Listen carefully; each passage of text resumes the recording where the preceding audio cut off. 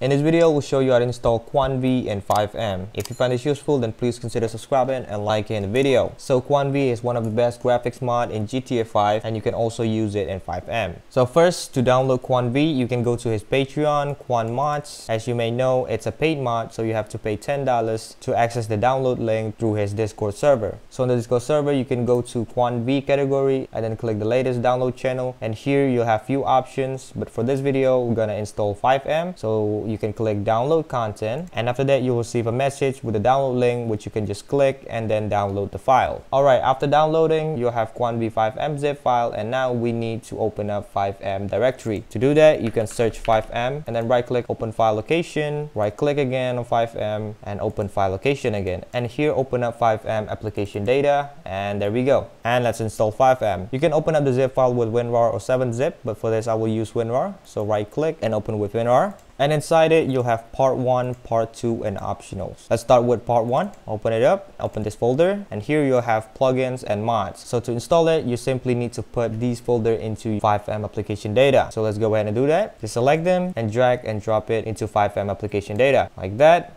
and that's done for part one. Next let's open part two. Here I recommend you to use the gpu on but if you have old gpu you can select the gpu off but let's go ahead with the gpu on open up the FiveM app data and same as before we're gonna drag and drop it into the FiveM application data. And that's done for part two. Let's go to optionals and here it's practically the same so for example, you want to install long draw distance, open up the folder and FiveM app data, and you have this mods folder. What I'm gonna do is just drag and drop it into FiveM application data. And that's basically it. Alright, one thing I want to show you, open up the visual presets, and here you have two ReShade preset. But if you go to QuantV Discord server, you have many more preset you can download and install. So you can download one of them, but for this video, I'll just stick with the default one. So let's install the cinematic one. You can open up plugin plugins and we're gonna put reshade shaders and the ini files into the plugins folder like that and that's done. All right now you can open a FiveM and here you can press F8 and then you need to copy this line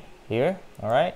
Right click copy go back to FiveM application data and look for citizenfx.ini right click on it and open it with notepad or anything and then paste the line just copy. So right click and hit paste and then click file and save it. And then you can go to any server and to open up reshade preset you can press home on your keyboard. You can select the effects you want and to change the preset you can click here select the preset you want to use and hit select.